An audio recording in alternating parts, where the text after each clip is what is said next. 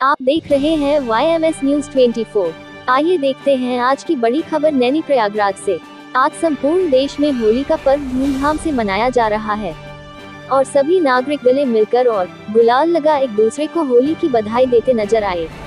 इसी कड़ी में हर वर्ष की भांति, इस वर्ष भी, नैनी गाँव के प्रधान एवं समाज सेवी बच्चा लाल यादव जी के आवास पर भी, होली मिलन समारोह कार्यक्रम का आयोजन किया गया।